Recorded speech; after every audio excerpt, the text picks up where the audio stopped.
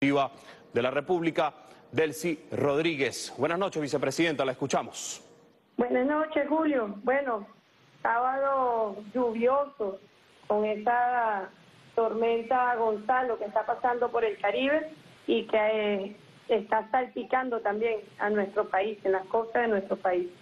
Bueno, Julio, hemos estado en constante trabajo de la Comisión Presidencial, como siempre, como todos los días, desde el primer día. Ya han transcurrido 132 días, estamos en la semana 19 y nunca hemos dejado de informar un solo día de forma muy transparente a nuestra población y a la comunidad internacional sobre los casos y la situación de la pandemia por COVID-19 en Venezuela. Debemos informar que en las últimas 24 horas se han registrado 643 casos en todo el territorio nacional de transmisión comunitaria. De esos 643 casos, 216 corresponden al distrito capital. Recordemos que, bueno, la región central ha sido objeto de medidas especiales por parte del presidente. Se encuentran actualmente en nivel 1 de cuarentena radical. En esta semana, donde todo el país está en cuarentena, en la fórmula venezolana del 7 más 7. Sin embargo, el incremento de casos en Distrito Capital, el Estado Miranda, el caso La Guaira, bueno, hemos tenido coyunturas particulares y ya Capital tiene, fíjate, 1.839 casos activos en todo el país. Es la entidad con mayor cantidad de casos en todo el territorio nacional. Igual Miranda, que lo sigue con 1.083 casos en todo el país. Bueno, Distrito Capital 216. Fíjate, de esos 216, ¿cómo se distribuyen en las parroquias? La parroquia Katia, que es una parroquia populosa, siempre decimos alerta, alerta, Katia, para todos los habitantes de esa parroquia, de esa gran parroquia de Caracas. Hoy registra 45 casos nuevos. El Valle registra 30 casos nuevos. Antímano 19 casos. Coche 16 casos. El Junquito 9 casos. La Vega 8 casos. San Juan 7 casos. El Paraíso 7 casos. La Candelaria 7 casos. 23 de enero 7 casos. Santa Rosalía 6 casos. La Pastora, cinco casos, Caricuao, cuatro casos, El Recreo, cuatro casos, San Pedro, tres casos, Altagracia, tres casos, Santa Teresa, tres casos, San José, 22, dos casos, Catedral, dos casos, San Agustín, dos casos y San Bernardino, dos casos. 21 de 22 parroquias registran hoy casos nuevos. Bueno, eso es el Distrito Capital con 216 casos. Bien decía la Organización Mundial de la Salud que los ciudadanos deben conocer en qué sitios se están registrando nuevos casos para que tomen medidas extraordinarias, especiales, seamos muy cuidadosos. Y es obvio, es evidente que en el Distrito Capital el virus está ampliamente circulando. Hay un brote y ese brote debemos controlarlo con la cuarentena para poder cortar las cadenas de transmisión. Luego nos vamos al estado Zulia, que el día de hoy registró 167 casos. De ellos, la Zulia tiene 833 casos activos. Ustedes saben que, bueno, Zulia comenzó con un gran foco. De estos 167, 97 casos corresponden al gran foco del mercado de las pulgas y el resto corresponde a municipios lejanos al centro. Luego está el estado Miranda con 153 nuevos casos, ya registra 1083 casos el estado Miranda. De ellos, fíjate, nuevamente, así como en Caracas hacemos la alerta con Katia, en Miranda debemos hacer una gran alerta con. En, una, en un municipio muy populoso, el municipio Sucre. Hoy está registrando 82 nuevos casos. Bueno, ya estamos en contacto con el gobernador y a su vez con el alcalde para tomar todas las medidas necesarias. De estos 82, bueno, nuevos casos están en Petare, 22 en Baruta, 12 en Carrizal, 6 en Los Teques, 6 en Santa Teresa, 6 en Guarenas, 4 en Sacao y el resto en distintos municipios que conforman el estado Miranda. Luego nos vamos al oriente. Con Nueva Esparta está registrando 42 nuevos casos. Hoy estuvimos conversando con el protector del estado de Nueva Esparta, compañero Dante Rivas, viendo el, crecimiento que se ve, un pico que está viendo el de Nueva Esparta. Después nos vamos a Los Llanos, donde Marina registra 16 nuevos casos. Luego volvemos a Tamacuro con 12 nuevos casos. La Guaira, 9 nuevos casos. Guárico, 7 casos. Poque de 4 casos. Estado Sucre, 4 casos. Amazonas, 3 casos. Bolívar, 3 casos. Trujillo, 2 casos. Apure, 2 casos. Carabobo, 1 caso. Monaga, 1 caso. Y Lara, 1 caso. Son los 643 casos nacionales que registra hoy Venezuela. De igual manera, debemos informar que hemos recibido 23 casos importados, 22 de ellos procedentes de Colombia, 12 que entraron por el Apure, 5 que entraron por el Táchira y 5 que entraron por el Zulia. Y un caso procedente de Brasil, entró por el estado Bolívar. Bueno, son los nuevos casos que registra hoy en el país, incluidos sus casos importados. Ya Colombia se aproxima a tener casi 4.000 casos en Venezuela. Están registrados al día de hoy 3.899 casos de Colombia, 470 de Brasil, 145 de Perú, 113 de Ecuador y otros 78. Es decir, 5.270 casos importados tiene Venezuela. Somos el único país del mundo que está recibiendo flujos migratorios de regreso en nuestra patria y que bueno, que ya estamos cercanos a las 72.517 personas que han regresado a Venezuela. Esto es una cifra que no la, te repito, no hay país en el mundo que pueda estar mostrando estos flujos migratorios de retorno a su país, como lo está mostrando el día de hoy Venezuela. Debemos también aportar un dato que es muy importante para los medidores internacionales. Ya estamos ahora de llegar a un millón y medio de pruebas realizadas, de las cuales 49.725 es la tasa por millón de habitantes. Otro dato bueno que tiene que ver con la condición de los pacientes.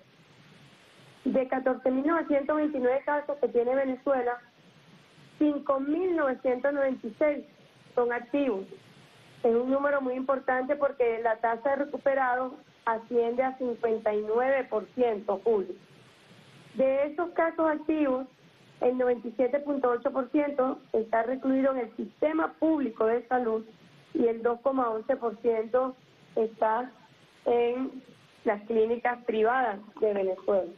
Es decir, el mayor soporte está justamente en el modelo de inclusión y de justicia social, en la universalidad del derecho a la salud. Están justamente soportados en el sistema público de salud. Luego, bueno, Julio, sobre el estado de los pacientes, debemos informar que actualmente tenemos 4.952 pacientes asintomáticos esto corresponde a personas que son portadoras del virus, que pueden contagiar altamente el, virus, pero que no tienen evidencia física de síntomas, dolencia este, o algún padecimiento. Es el 82% de nuestros casos activos.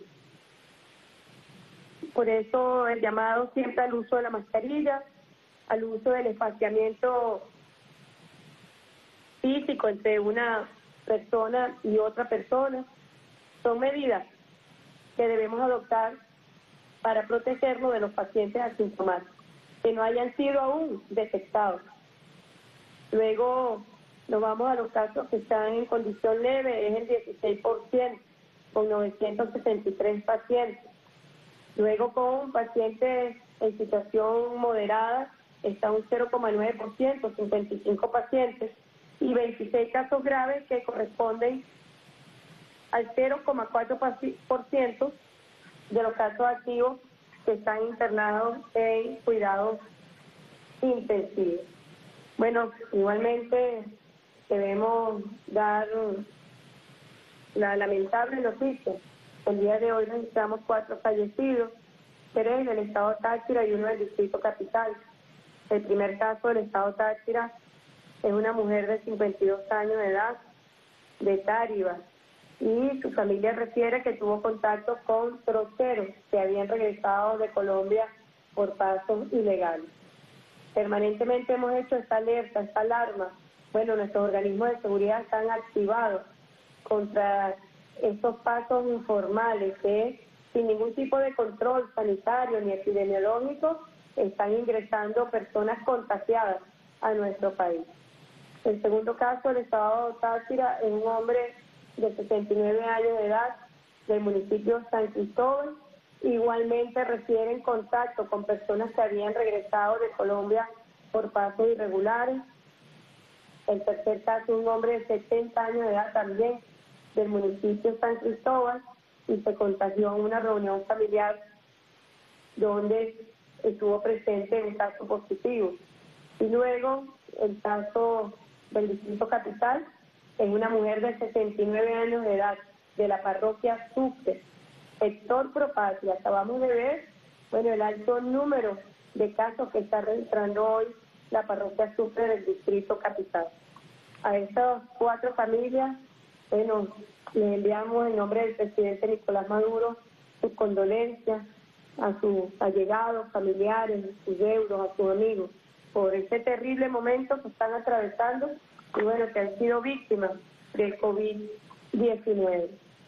Por otro lado, Julio, nunca dejamos de referirnos a cómo está el mundo. Hay mucha preocupación en las autoridades, tanto mundiales como regionales de salud, porque ya el COVID ha afectado a 16 millones 159 mil 953 personas en el mundo y de ellos dos países concentran el epicentro de la pandemia. El primero de ellos es Estados Unidos, ya cercano a los 150 mil lamentablemente fallecidos. El segundo país epicentro de la pandemia está aquí, país vecino, Brasil, con 86.449 fallecidos. Ya se acerca a los 2 millones y medio de casos activos, una cosa bárbara. Solamente el día de hoy, bueno, está registrando, por decirte, Brasil supera las 85 mil fallecidos y hoy está registrando 46 mil nuevos casos. Pero si te vas a Estados Unidos, Estados Unidos registra más de 73 mil nuevos casos en un solo día. Y el estado de Florida, bueno, dentro de los ataques y las agresiones contra Venezuela, ya superó a Nueva York con más de 414 mil casos por COVID-19. Luego tienes Perú, imagínate tú, Perú está en el sexto lugar. Nosotros estamos recibiendo con nacionales que están huyendo del Perú. Fíjate esta noticia que saca RT el día de hoy, muy triste. El 12% de los fallecidos por COVID-19 en Perú murió en sus casas o en las calles. Dios nos cuide, nos ampare de una situación como esta. Y yo estoy hablando de países, bueno, que conforman ese mal grupo llamado de Lima, que siempre están atacando a Venezuela, agrediéndola, y al mismo tiempo están autoalabando su modelo de salud privatizado. Ahí está, 12% de los fallecidos en Perú lo han hecho, han fallecido o en sus casas o en las calles, solos, abandonados. Fíjate también en Chile, registran 9.020 decesos en el día por COVID. Colombia roza los 8.000 fallecidos por coronavirus y suma más de 7.000 nuevos casos. Bueno, es lamentable realmente eso que tenemos que ver. Venezuela hoy tiene ciento ya arriba a los 138 casos. Y para nosotros es realmente muy doloroso, yo lo sé. A mí me toca, lamentablemente, tener que dar estas noticias al presidente, informarlo cada minuto de la situación del COVID-19 en Venezuela. Y su preocupación es que atendamos cada paciente, cada paciente moderado, cada paciente grave, evitar que fallezcan. Y lamentablemente sabemos el COVID-19 tiene dos principales características. El primero de ellos es que es altamente contagiante y el segundo es que es un virus letal. Bueno, y lamentablemente Venezuela que tiene actualmente este brote por COVID-19 tiene esto, esta cifra de fallecidos que para nosotros, aunque fuese uno, es una situación muy terrible y muy lamentable. Pero te hablaba de estos países que conforman el Grupo de Lima, Colombia, ya Colombia está en el lugar número 15 del mundo. En apenas cinco días subió del puesto 20 al puesto 15. Chile está en el puesto 8, Perú en el puesto 6, Brasil está en el segundo puesto y a la cabeza, a la vanguardia de Estados Unidos. Todos países que se han convertido en países satélites de Washington para agredir a nuestro pueblo, para bloquear a Venezuela, para incrementar el sufrimiento en medio de esta pandemia que azota la humanidad. Y bueno, tú ves que sus sistemas de salud colapsaron, porque el centro de, de sus sistemas de salud era la salud privatizada, donde las vastas mayorías no han tenido, ni tenían, ni tendrán acceso al derecho a la salud. Y esa es la contradicción que tienen con Venezuela. Es el modelo de inclusión, de justicia social de Venezuela. Es allí la comparación. La pandemia se ha convertido en un referente para comparar todos los sistemas de salud en el mundo, ha dicho la Organización Mundial de la Salud, se han visto o se verán afectados. Pero hay un modelo que se ha visto más afectado que otro, y son los sistemas privatizados de salud. Aquí lo estamos viendo. Bueno, por otro lado, hemos estado hoy en elaboración de recomendaciones. El presidente Nicolás Maduro se dirigirá en las próximas horas al país para anunciar importantes medidas y lineamientos para el control de ese brote que hay en Venezuela y en algunos estados del país. Por otro lado, no quería despedirme, siempre dando un abrazo de solidaridad a los trabajadores de BTV que han sido afectados por el COVID, pero que están de pie, bueno, cumpliendo con su deber de llevar información veraz y oportuna a Venezuela. Y allí queremos anunciar nuevamente que el día de mañana, a las 8 de la noche, todos saldremos a dar un aplauso de reconocimiento a los médicos, a las médicas, al personal de salud que está en los hospitales, en los CDI, en las salas de emergencia, en las clínicas privadas, que están batallando contra el COVID-19. Todos saldremos a nuestras ventanas, balcones, a las puertas con un minuto de aplauso a las 8 en punto mañana domingo.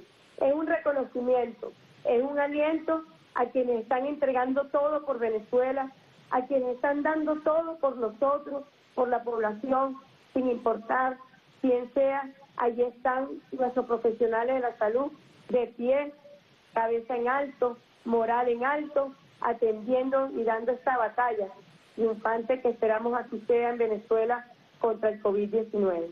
Bueno, muchísimas gracias y mañana sin duda estaremos en contacto dando nueva información. Buenas noches. Bueno, agradecemos a la vicepresidenta ejecutiva Delcy Rodríguez. Ha informado 643 casos de transmisión comunitaria.